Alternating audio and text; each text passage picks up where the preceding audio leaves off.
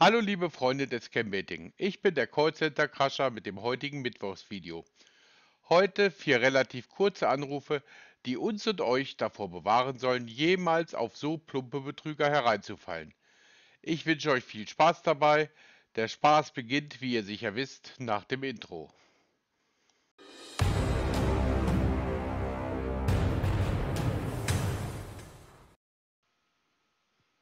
Ja, hallo, schönen guten.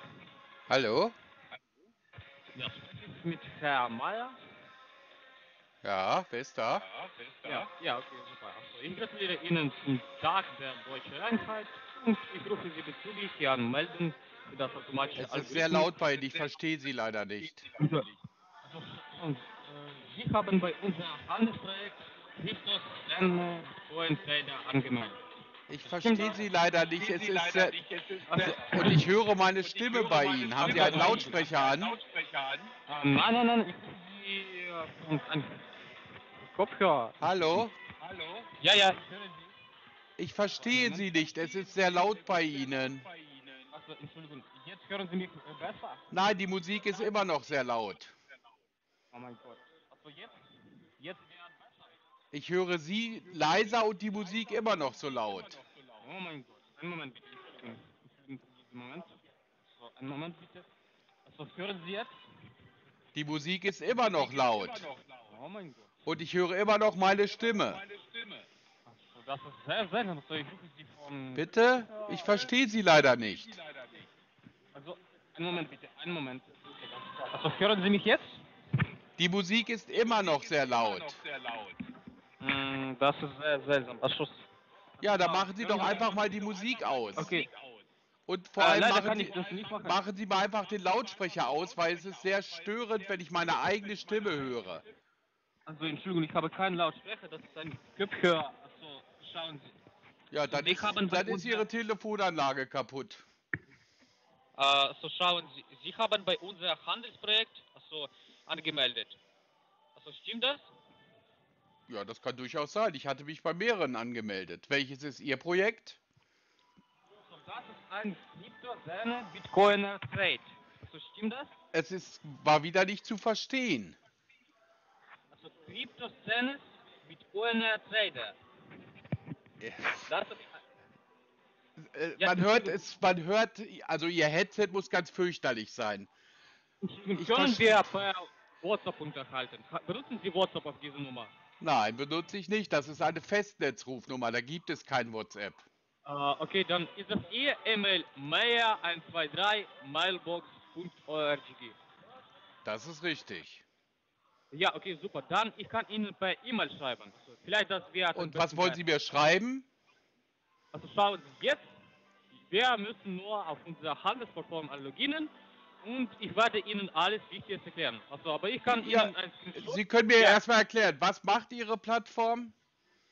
Also schauen Sie, wir haben auf unserer Handelsplattform einen automatischen Algorithmus, der mit Krypto, Aktien und Rohstoff und Passen mal auf, rufen Sie doch mal an, wenn die Musik aus ist. So höre ich Sie nicht. Okay, schauen Sie, ich werde Ihnen einen Link per E-Mail schicken. Ja, aber da können Sie mir, da können Sie mir ja nichts erklären. Ich möchte bitte, dass Sie mich anrufen, wenn die Musik aus ist. Ja, okay, ich habe verstanden. Dann einen Moment. Gut, bitte. okay.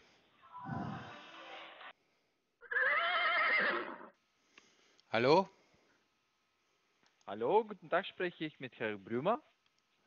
Ja, Okay. Äh, wie geht's Ihnen jetzt erstmal? gut. Und Ihnen? Sehr schön, Dankeschön. Bei mir geht alles gut.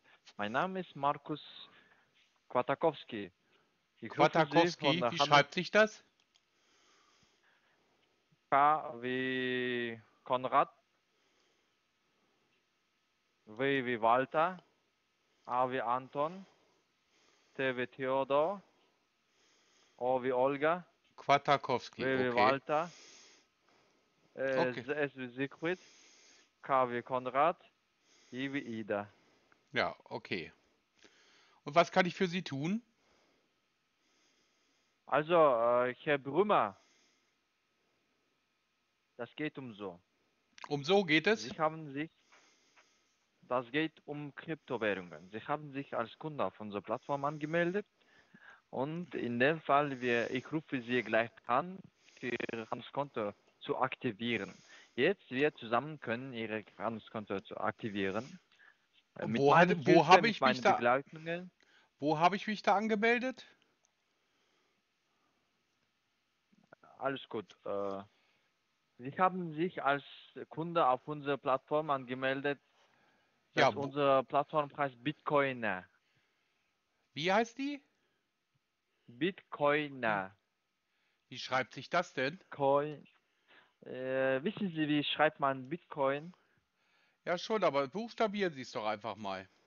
Ja, klar, jetzt. Äh, alles gut. Herr Brümmer, das Bitcoin, das schreibt man normal wie Bitcoin und dazu schreibt man N wie Nina, E wie Emil, R wie Rudolf. Bitcoiner. Bitcoiner. Mit Doppel-N oder mit genau. einfach Bo- Bitcoin und dann N-E-R oder wie? Ganz genau. Bitcoiner mit Doppel-N. Okay, Ganz und wie geht's genau. weiter?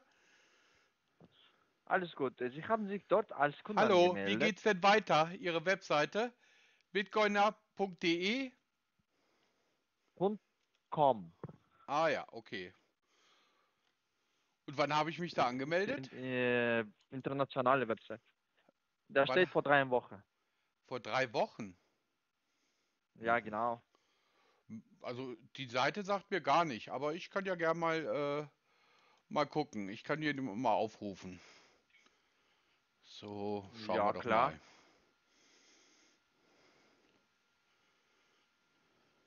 Also, Herr Brümer, das geht um so, dass äh, wir können gleich für Sie Ihre Handelskonto aktivieren. Ja? Und äh, schauen Sie bitte mal Ihre Posteingang, ob Sie irgendwelche Nachrichten von unseren Webseiten erhalten haben. Ich habe momentan gar noch nicht gesehen, äh, Ihre Seite macht gar nicht auf. Keine Ahnung, vielleicht Ich- Sie nutzen mit irgendwelche äh, VPN, VPN, nutzen Sie Was, was, VPN? ist, was ist ein VPN? Schreiben Sie bitte mal auf Google, was für ein VPN bedeutet. Ja, wo, wo, wozu? Ich, ich, VPN. Ja, habe ich jetzt eingegeben. Nee, sowas nutze ich Wenn nicht. Sie mit dem VPN nutzen, dann äh, Nutze steht ich nicht, sagte ich gerade. Ich habe das verstanden. Gut. Ich möchte für Sie einfach als Information das geben. Ich habe Ja. von Sie nicht gefragt. Was. Also, äh, Ja, trotz allem, wenn, falls äh, trotz allem ist Ihre Webseite Sie weiß und nicht unterbrechen mehr. mich, Sie haben mich schon dreimal untergebrecht und ich könnte Ich habe nicht Sie untergebrecht. Ja, Das heißt übrigens unterbrochen. oder so. Herr Brummer, ich möchte für Sie die Information geben, Sie unterbrechen mich jedes Mal. Bitte schön, wenn Sie falls Fragen haben, Sie können auf dem Ende das auch gerne stellen. Zuerst mal, ich möchte für Sie die Informationen geben, wie das funktioniert. Das Na geht so? dann, dann los. Ja, alles gut. Herr Brümmer, sch- haben Sie schon von unserer Website eine Nachricht erhalten oder ist immer noch nicht? Nö, glaube ich nicht. Welche E-Mail-Adresse haben Haben Sie da von mir? Hallo, welche E-Mail-Adresse haben Sie da Ah. von mir? Haben Sie viele E-Mail-Adressen, nach verschiedenen? Ich habe verschiedene E-Mail-Adressen, richtig. Achso, okay. Ihre E-Mail-Adresse lautet werner.brümmer. Okay, das steht äh, minus schwul at md. Ah, ein Betrüger! Hallo Betrüger! ein Betrüger! Hallo Betrügerlein! Was ist los mit dir? Hast du es immer noch nicht aufgegeben? Entschuldigung? Entschuldigung? Nee, entsch- ich entschuldige nicht. Nein. Hallo lustiger Betrüger. Da steht werner.brümmer. Ja, ja. Schwul. Bei dir steht Äh, dummerbetrüger.de. MDZ. Bei dir steht dummerbetrüger am Telefon.de.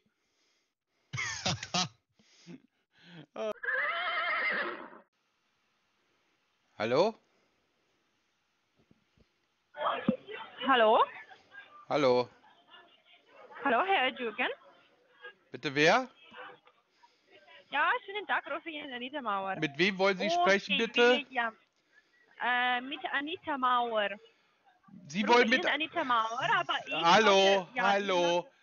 Mit wem wollen Sie bitte sprechen? Mit Anita Mauer? Hier, hier gibt es keine Anita Mauer. Mit, mit Jürgen Tagmauer. Stimmt? Bitte? Herr Jürgen? Ja? Den Nachnamen bitte. Tagmauer. Segemeier. Okay, wunderbar. Ja, Äh, ich schreibe wunderbar, dass Sie kein in Deutsch können. Was bitte? Wunderbar, dass Sie kein Deutsch verstehen. Oder nicht lesen können. Ich verstehe Deutsch sehr gut. Ja, aber lesen können Sie scheinbar nicht. Äh, okay, warum ich rufe Ihnen? Ja, das weiß ich nicht. Das müssen Sie doch wissen. Ja, Sie Ihre Daten hinterlassen im Projekt, im Projekt Bitcoin. Stimmt es? Ja, es gibt viele Projekte Bitcoin. Äh, okay, Unternehmen Cyber Capital. Wir korrespondieren mit Ihnen äh, per Mail. Ach so, ach, ach, Sie sind das. Ja, Ja, und warum wollen Sie nur per Mail kommunizieren? Verstehe ich nicht. okay. äh, Und warum haben. Sie, Sie, Sie haben geschrieben, Sie konnten mich nicht telefonisch erreichen. Jetzt können Sie es doch. Warum könnten Sie mich nicht äh, telefonisch erreichen? Ich war die ganze Zeit im Büro. Warten Sie kurz. Hallo. Hallo. Entschuldigung, äh, warten Sie kurz. Ich bin Warum hier. soll, warum soll ich denn warten? Ich habe einige Kunden. Kunde. Wa warten Ja, Sie. dann ruf, dann klären Sie das mit den Kunden ab und rufen Sie mich dann an, wenn Sie wieder Zeit haben. Hallo.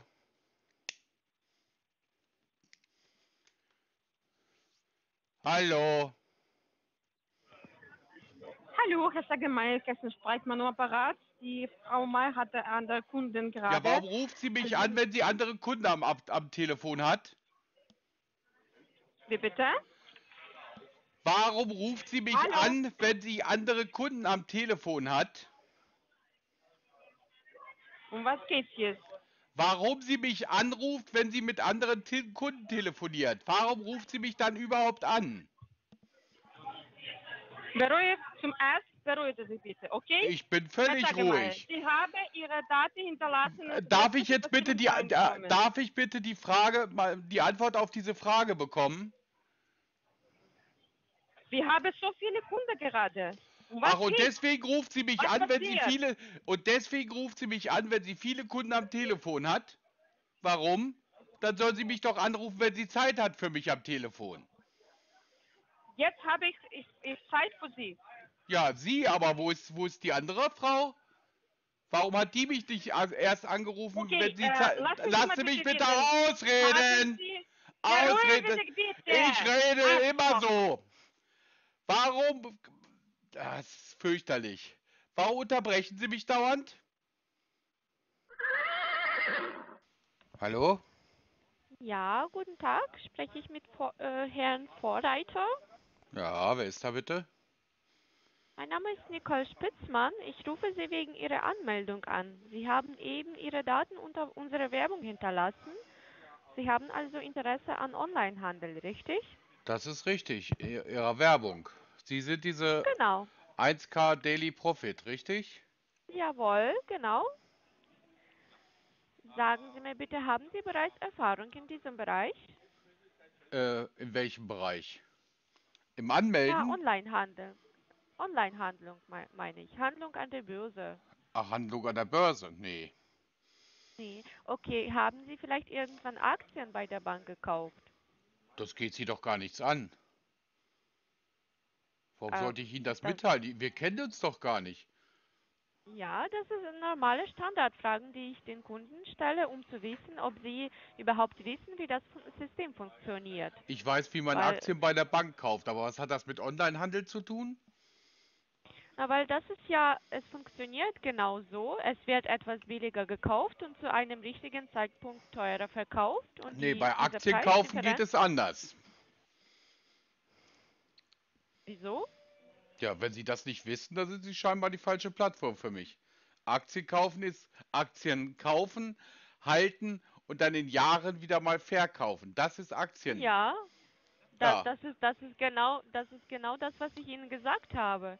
Sie Plus, haben, da dauert das viel lang, länger. Also da kauft man nicht und verkauft am gleichen Tag, sondern etwas später. ach so, Sie meinen CFD-Handel. Genau. Ja, das, davon haben Sie ja nichts gesagt. Das ist langfristig mit Aktien und das, was wo Sie sich gerade angemeldet haben, ist es kurzfristig. Das, da das, kann war, man am gleichen Tag verkaufen Das oder war gleich nicht- in fünf Minuten. das war nirgendwo zu sehen. Was meinen Sie, es war nirgendwo zu sehen? Ah, verstehen Sie kein Deutsch? Es war nicht nirgendwo zu sehen, dass es um CFD-Handel sind Sie geht. so aufgeregt? Ich bin nicht aufgeregt. Warum fallen Sie mir eigentlich dauernd ins Wort? Sie fragen okay, etwas dann sprechen Sie sich aus. mit Ihnen? Wir kennen uns Ja. doch gar nicht. Warum soll ich mich mit Ihnen aussprechen? Sie meinen, Ja, weil ich, Sie gesagt ah, Sie, ah, Sie sprechen so schlecht Deutsch, dass Sie gar nicht verstehen. Sich aussprechen ist etwas. schlecht jetzt haben. Sie, jetzt haben wir Sie schon wieder unterbrochen. Das genau ist das Problem. Sie haben mich mitten im Satz unterbrochen. Ja, dann habe ich gesagt, sprechen Sie sich doch aus. Sie wissen gar nicht, was heißt denn aussprechen. Sie meinen ausreden lassen. Das ist etwas anderes als sprechen Sie sich aus. Okay, dann reden Sie sich aus, bitte. Sie haben es immer noch nicht verstanden. Das heißt, sprechen Sie zu Ende oder so. Aber ist egal. Ja, wir haben jetzt hier keinen Deutschkurs. Ich rufe Sie wegen Ihrer Anmeldung Ja, Sie an. rufen doch in Deutschland um an. Dann sollten Sie doch eigentlich minimal Deutsch sprechen können. Ich spreche doch Deutsch. Nee, aber sehr Japanisch schlecht. oder Sehr sch Chinesisch mit Sie Ihnen? sprechen sehr schlechtes Deutsch. Sehr schlechtes Deutsch. Na Richtig. gut, dann wollen wir uns mal unterhalten. Auf richtiges Deutsch. Ja, dann fangen Sie mal an mit richtiges Deutsch. Dann reden Sie sich aus. Das, das haben Sie doch. Das wollten Sie Ja, doch machen. Sie wollten doch jetzt mit richtiges Deutsch sprechen. Was bietet, ihr- müssen was bietet ihr, ausreden. was bietet ihre, ihre Firma denn an? Sie wollten sich doch ausreden. Hören Sie nicht? Ich hab Sie ich habe gerade gefragt. Was bietet mir Ihre Firma Wieso an? schreien Sie mich Weil an? Sie nicht zuhören. Ich höre Sie zu. Was habe ich denn gesagt? Sie haben gesagt, dass ich Sie unterbrochen habe. Ich habe Sie gesagt, was bietet. Ihre Firma mir an, habe ich gesagt. Sie hören nicht zu. Moin. Für das Jahr 2024 hätten sich die Betrüger ja drei Dinge vornehmen können. Verständliche deutsche Sprache sprechen, den Kunden ausreden lassen und ganz wichtig, zuhören. All das werden die auch zukünftig nicht machen, aber wir versuchen sie auch weiterhin in dieser Richtung zu schulen. Das war's für heute. Danke fürs Zuhören. Bleibt aufmerksam und lasst euch nicht abzocken, bis wir uns im nächsten Video wiederhören. Euer Callcenter Crusher.